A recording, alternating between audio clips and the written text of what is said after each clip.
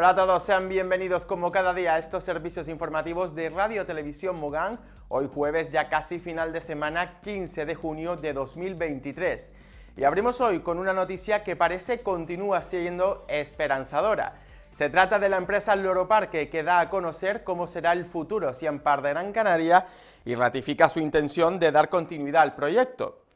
Ayer el Gabinete Literario de Las Palmas de Gran Canaria, la empresa Loro Parque, propiedad del popular empresario noruego Volkswagen Kisling, presentaba en rueda de prensa el proyecto del parque acuático Siam Park, dando a conocer cómo están previstas que sean las instalaciones que se levantarán en la zona del Beril, en Playa del Inglés, y que contará con una inversión de 160 millones de euros, el doble de lo estipulado hace 11 años, cuando se anunció por primera vez.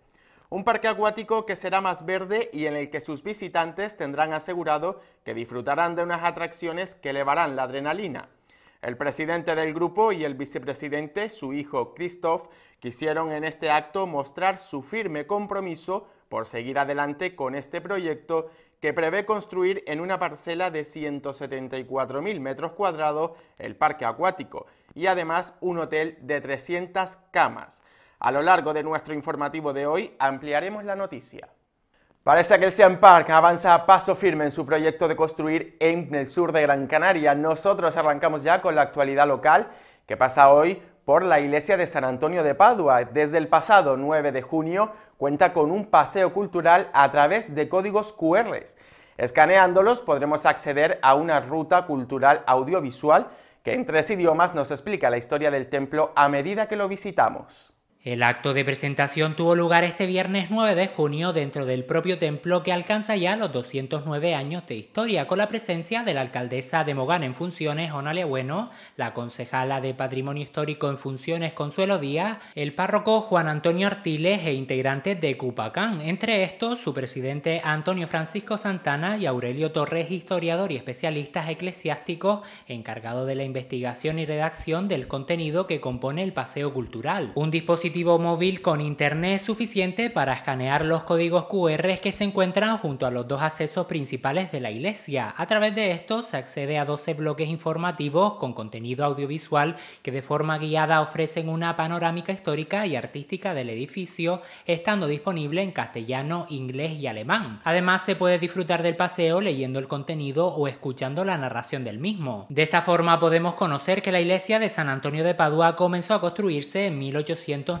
y fue culminada el 14 de mayo de 1814 dando paso a la creación de la parroquia de Mogán y a la emancipación del pueblo respecto de Tejeda, municipio al que pertenecía hasta entonces, y que esto a su vez permitió la creación del ayuntamiento poniendo de manifiesto que la edificación es el origen del municipio. También que su construcción fue posible gracias a la generosa aportación económica del indiano Matías Sarmiento, natural de Mogán y rico hacendado en La Habana, siendo el diseño original del edificio del artista gran canario José Luján Pérez. Pero además que la imagen del patrón del municipio San Antonio de Padua, o el Chico, como se le conoce popularmente en el lugar, también fue tallada por Luján Pérez y data igualmente de 1814. Estos son solo algunos datos que las personas que visiten la iglesia tienen a su disposición y destaca asimismo que la imagen de la Inmaculada Concepción de María llegará a Mogán en 1838 procedente del desaparecido convento franciscano que existió en Galdar, que la pila bautismal labrada en piedra sea todavía hoy la que se colocó cuando se fundó la parroquia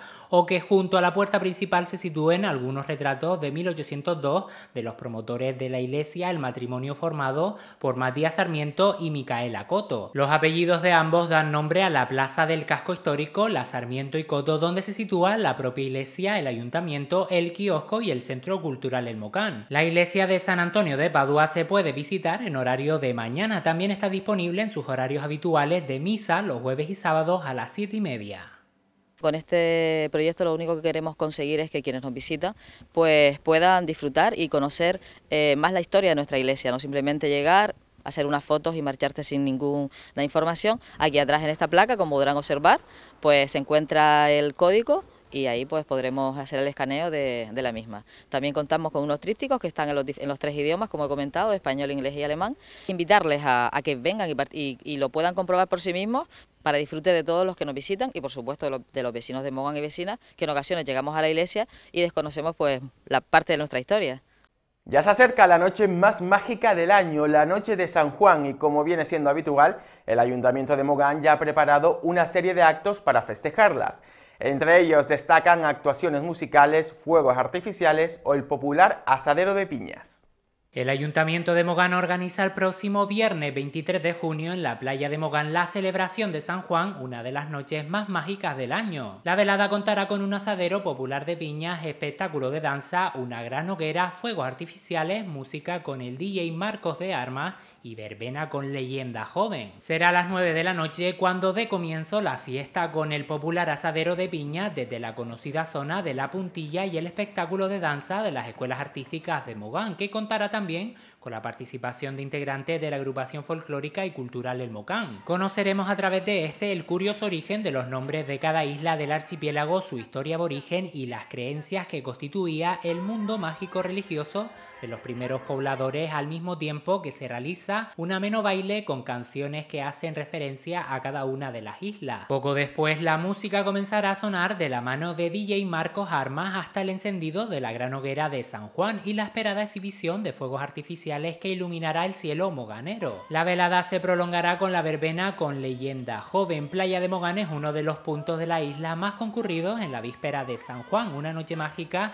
en la que muchas personas realizan ritos para la prosperidad y buena suerte. Además, este barrio marinero mantiene una estrecha relación con la festividad. La imagen de San Juan se encuentra en la ermita de San Fernando de la localidad, donde los vecinos y vecinas acuden a prestarle devoción. Un año más se acerca la celebración de la víspera de San Juan, de la fiesta de San Juan, pues lo celebraremos en, playa, en la playa de Mogán, pues con el popular cedro de piñas en la zona de la puntilla. Contaremos también con un espectáculo de danza de las escuelas artísticas, como también es habitual, y donde participarán también determinados eh, componentes de la agrupación folclórica Almocán. A partir de ahí, pues ya contaremos con la verbena habitual y, bueno, y como siempre, pues todos los, vecinos y vecinas que se acercan a la playa de Mogán para hacer esos pequeños rituales y pedir suerte para, para esas tías, que es el día para eso, para saltar las hogueras y pedir suerte. También contamos con la hoguera, la hermosa hoguera que se hace en la puntilla. Y bueno, y decir también que la playa de Mogán se convierte en uno de los lugares más concurridos en las fechas esta de la víspera de San Juan, donde bueno, pues la participación es fluida. Quiero decir también, bueno, invitarles a participar de esta, de esta noche mágica y bueno, y les esperamos todo el día 23 en Playa de Mogán a todos los vecinos y vecinas y por supuesto a quienes nos quieran visitar en esa noche mágica. Esta mañana tomaban posesión del cargo de subinspector dos de los policías del Cuerpo de Policía Local del Ayuntamiento de Mogán. El acto se celebraba en el Salón de Plenos del Consistorio con la presencia de la alcaldesa en funciones, Sonalia Bueno, y el concejal de Seguridad en funciones, Mensei Navarro.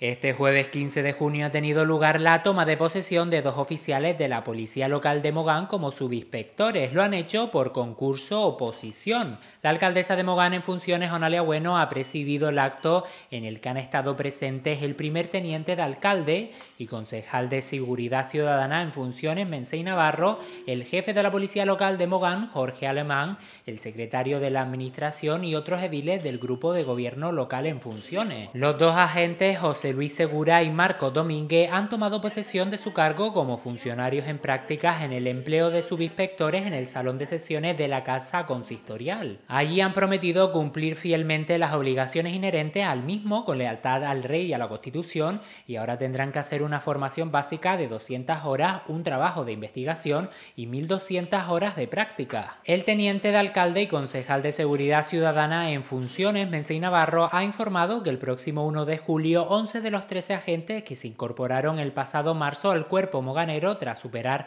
la convocatoria pública comenzarán a realizar sus prácticas en el municipio. Toda vez se prevé hayan finalizado el periodo obligatorio de formación básica en la Dirección General de Seguridad y Emergencia del Gobierno de Canarias en Añaza, en Tenerife. Los dos agentes restantes realizan ya sus prácticas en la Policía Local de Mogán ya que previamente prestaban servicio en Galdar y por tanto habían pasado ya por la mencionada academia. Por su parte el jefe de la Policía local de Mogán han asegurado sentirse muy satisfecho por la incorporación de dos activos a la escala de mando. La policía local de Mogán cuenta con 54 agentes y próximamente el ayuntamiento abrirá convocatorias para la provisión de plazas de empleo de policía que están vacantes y las que se vayan generando. El acto muy bien, en la toma de posesión como funcionario en práctica ahora tienen que hacer un periodo de, formación y luego harán la academia en la Dirección General de Seguridad y Emergencia. Y a partir de hoy, aunque venían tomando, ejerciendo sus funciones eh, como subinspectores por nombramiento por decreto que estaban, pues hoy empiezan a realizar sus funciones como funcionarios en práctica en el cuerpo de la policía local. Estamos muy contentos dentro de la planificación de la corporación, con la incorporación de dos activos más en la escala de mando correspondiente felicitarle y desearle la mejor y de las mayores suertes en su labor profesional a partir de, este momento. En el día de hoy, dos funcionarios de policía local han tomado posición como funcionarios en prácticas con la categoría de su inspector. Eh, seguimos conformando de alguna manera la escala de mandos correspondientes dentro de la policía local de Mogán y de forma paralela también con la incorporación de nuevos policías que en este, en este momento se encuentran en la academia en Tenerife, así que bueno, eh, bastante contento con seguir trabajando en la policía local, felicitar a estos dos compañeros por el nuevo nombramiento habido en el día de hoy por parte de la alcaldesa presidenta con la presencia del jefe de la policía y nada, nos toca seguir trabajando en la incorporación de nuevos compañeros y en seguir de alguna manera pues construyendo esa escala de mando de la que hablaba antes el jefe de la policía local. El proyecto Escuela de Pacientes de Canarias trae a Mogán un taller sobre el cáncer de mama. Con él se pretende aunar en un mismo grupo a aquellas personas que estén padeciendo la enfermedad o ya lo hayan hecho, con el objetivo de mejorar su calidad de vida y enseñarles a afrontarla. La Escuela de Pacientes de Canarias es un proyecto orientado a fomentar el paciente activo y que se desarrolla a través de talleres donde en pequeños grupos de pacientes se facilita el intercambio de conocimientos y se adquieren habilidades entre personas que comparten la experiencia de alguna enfermedad con la finalidad de mejorar su calidad de vida. Entre los objetivos generales se pretende alcanzar con los distintos talleres que pudieran realizarse se encuentra el de apoyar y capacitar a las personas que acuden a los talleres para mejorar las habilidades, motivación, y confianza a la hora de manejar los síntomas de la enfermedad crónica del paciente, favorecer hábitos de vida más saludables, cumplir las recomendaciones y tratamientos, mejorar los resultados de su salud, así como la comunicación con los profesionales sanitarios, además de utilizar los recursos sanitarios de forma eficiente. Dentro del marco de este proyecto se celebrará un taller en el Centro de Salud de Arguineguín donde se tratará en esta ocasión la enfermedad del cáncer de mama y tendrá lugar durante los días 16, 23 y 30 de junio en horario de 11 de la mañana a 1 de la tarde, aunque está especialmente indicado a personas que hayan padecido esta enfermedad o actualmente estén lidiando con ella. Los talleres de la Escuela de Pacientes de Canarias también están destinados a cuidadores y familiares de pacientes que quieran aprender técnicas y adquirir habilidades para manejar adecuadamente la enfermedad y alcanzar mejores niveles de salud y de calidad de vida. Aquellas personas que deseen acudir deberán inscribirse en el Centro de Salud de Arguineguín o en los consultorios de Playa de Mogán o Pueblo Estos talleres se tratan de darle un poco de, visibilidad a lo que supuestamente gente no, conoce.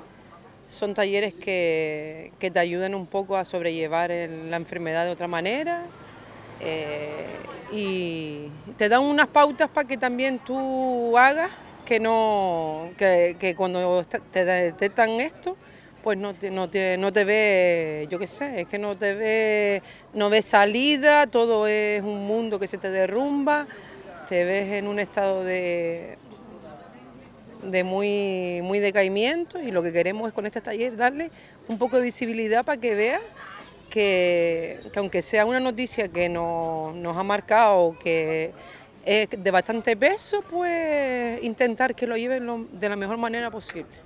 Mañana ya arrancamos con el primero y a ver qué tal, pero creo que sí va a tener aceptación. Más aceptación va a tener que el primero que se dio. Ya la gente se va concienciando más y va viendo que, va teniendo respuesta a esto. Si, si eres que lo tiene o lo estás pasando, te animo a que vayas, que eso más bien es una charla donde vas a hablar un poco de, de cómo te has encontrado tú y lo vas a pasar súper bien no te vas a arrepentir de venir. Lo vas a pasar genial. Y como siempre, aparcamos la actualidad local para dar a conocer las últimas noticias nacionales y regionales que hoy nos trae nuestra compañera Claudia Sáez. Saludos compañeros. En este jueves 15 de junio destacamos en el ámbito de la política el adelanto de la campaña electoral del 23 de julio deja en el tintero las negociaciones clave para las islas. La agenda canaria continuará congelada hasta nuevo aviso. El adelanto de las elecciones generales al próximo 23 de julio ha trastocado de nuevo el calendario del archipiélago, dejando diversas negociaciones pendientes con el Estado. Un suceso que se vuelve a repetir tras haber pasado lo mismo con el proceso electoral del 28 de mayo, que también paralizó los asuntos canarios en Madrid a la espera del resultado en las urnas y del arranque de la nueva legislatura autonómica. Y seguimos en el ámbito de la política porque PSOE Nueva Canarias y Unidas y Podemos reivindican el pacto en la capital Gran Canaria con un modelo progresista. Carolina Darias, Pedro Quevedo y Gema Martínez han firmado frente al Teatro Pérez Galdós el pacto para conformar un gobierno de progreso en el Ayuntamiento de Las Palmas de Gran Canaria tras varias semanas de intensas negociaciones. En este sentido, la próxima alcaldesa de la capital, Carolina Darias, ha asegurado que se trata de un programa que gira en torno a siete objetivos con el fin de hacer una ciudad más próspera, inclusiva y solidaria. Las tres fuerzas políticas que aquí estamos hemos hecho público nuestro acuerdo para el gobierno de progreso para mejorar la vida de la gente en esta ciudad, en Las Palmas de Gran Canaria. El pasado 28 de mayo, la ciudadanía claramente mostró su deseo que esta ciudad siguiera avanzando por el camino del progreso, para mejorar la vida de la gente, vivan donde vivan en esta ciudad. Queríamos este acuerdo, era nuestro acuerdo, y era el acuerdo que la ciudad, Las Palmas de Gran Canaria y su gente se habían manifestado el 28 de mayo, y nosotros queríamos estar, como estamos hoy, a la altura de lo que la ciudad, la ciudadanía de esta ciudad también nos requería. Además, hemos firmado un acuerdo programático basado en un amplio conocimiento de la ciudad. Y en turismo le presentamos cómo va a ser el nuevo Siampar, una experiencia llena de adrenalina. El grupo Loro Parque ha presentado el futuro Siampar de Gran Canaria, que se levantará en la zona del Beril, en Playa del Inglés, y que contará con una inversión de 160 millones de euros un parque acuático que será más verde y en el que sus visitantes tendrán asegurado que disfrutarán de unas atracciones que elevarán la adrenalina.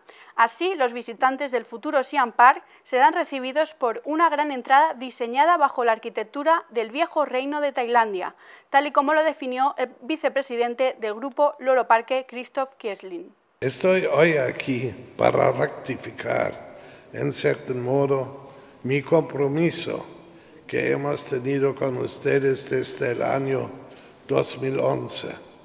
En 2011 yo me recuerdo que teníamos una reunión también con el gabinete eh, literario aquí en este edificio, pero sobre todo los empresarios nos habían invitado para saber lo que queremos hacer, cómo lo queremos hacer, cuánto queremos hacer va a ser complicado y no es seguro si no hay los pactos bien puestos para que haya una seguridad de inversión.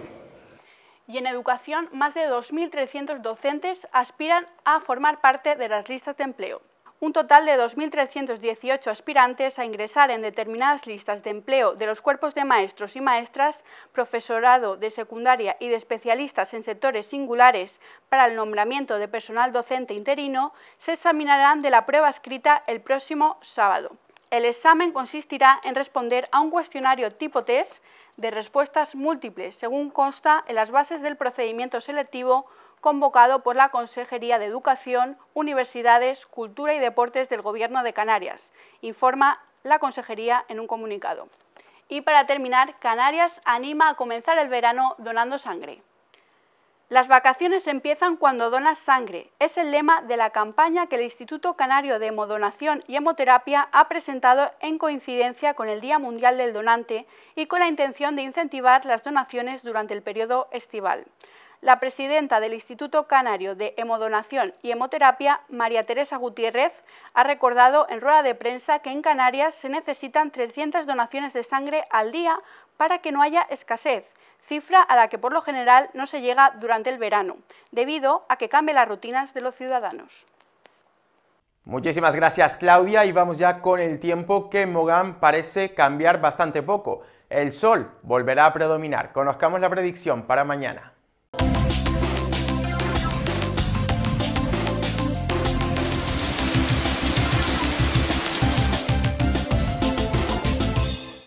La predicción del tiempo para mañana viernes en Canarias, en medianías y litorales del norte, intervalos nubosos abriendo claros en horas centrales, en el resto de zonas poco nuboso o despejado. Temperaturas mínimas con pocos cambios y máximas en ligero moderado ascenso, más acusado en medianías y cumbre. Viento moderado del norte o nordeste más intenso en vertiente sureste y noroeste de las islas montañosas, en cumbre flojo de dirección variable y brisas en costas orientadas al sur y suroeste.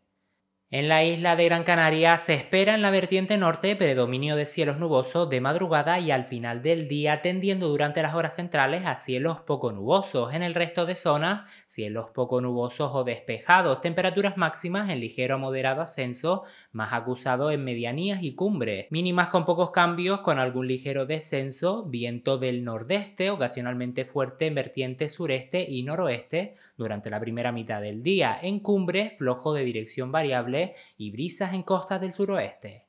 En el municipio de Mogán amaneceremos con cielos poco nubosos que perdurarán durante la mañana. Sin embargo, con la llegada de la tarde, los cielos permanecerán despejados. Las temperaturas registrarán un leve aumento, registrándose mínimas de 19 grados y máximas de 31. El viento será principalmente de componente sur y suroeste durante la mañana y la tarde.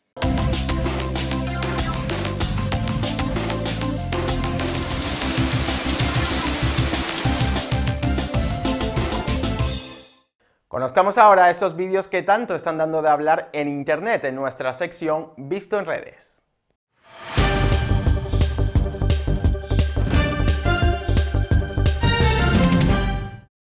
Cuanto menos asombroso este enjambre de abejas que logró invadir el barrio turístico de Wall Street haciéndose con él. Tal fue así que las autoridades tuvieron que cortar la circulación de la calle para que los apicultores pudieran realizar su trabajo y retirarlas, devolviendo la normalidad a la zona. El vídeo fue grabado por uno de los trabajadores de la zona.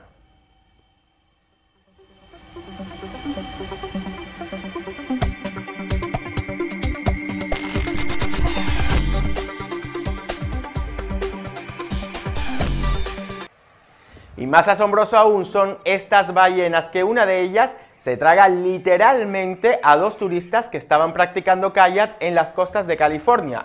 Por suerte pudieron vivir para contarlo cuando el cetáceo volvió a escupirlas. Los allí presentes entraron en pánico y pudieron captar estas imágenes que reúnen ya 5 millones de reproducciones en las redes.